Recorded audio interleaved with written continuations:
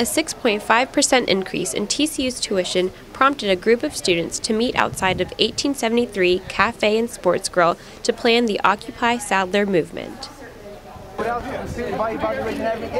Chancellor Victor Boschini was in attendance to discuss the group's main concerns and answered questions from the crowd. The Occupy movement started in Wall Street and has trickled down to Fort Worth, Texas. Students were not alone in their efforts, as faculty and staff joined in the movement.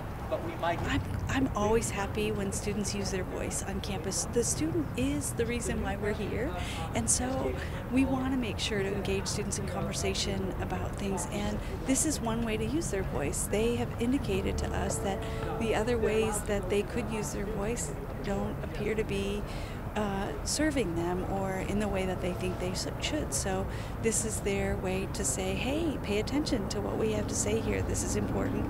Guys, since there's so few of you, tell me all your I think one of their biggest ones is they feel like there needs to be more transparency around this issue.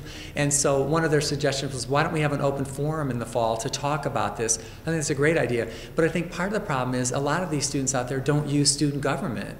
And student government does have input on this. The student body president is in all those meetings but you know they need to use their elected student government.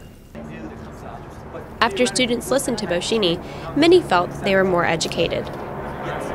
Personally, I just wanted our concerns to be heard and see if we could get anything done about them and what could be done and what the real situation is because I know there's a lot of confusion I think a lot of people aren't like super informed about what's going on with our tuition and what's going on. So I think it went really well, and I really liked his suggestion that people with uh, specific concerns should go talk to him because I think that's a really effective way to you know, get things done on a more micro level. We can have whatever you want at TCU, but somebody's going to have to pay for it, and you know who that is.